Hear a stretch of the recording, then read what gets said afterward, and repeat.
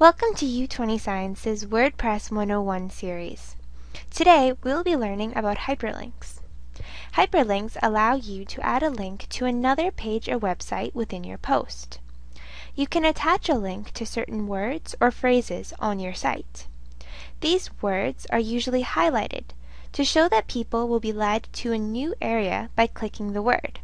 For example, U20 Science has a hyperlink. To add a hyperlink, you must be in the writing section of a post or page on your dashboard. For this demo, I will add a new post to bring up the writing section.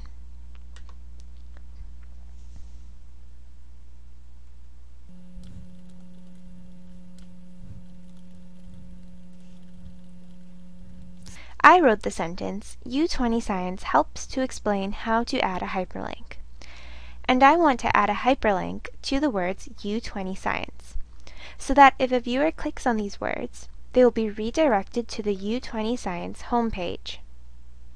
First off, copy the URL of the page you would like to link to. Next, highlight the word or words you would like to add the link to. Click the Insert or Add Link button located in the Editing section. A box like this will appear, and you can add the URL and a title. A title is the words that will appear with the hyperlink.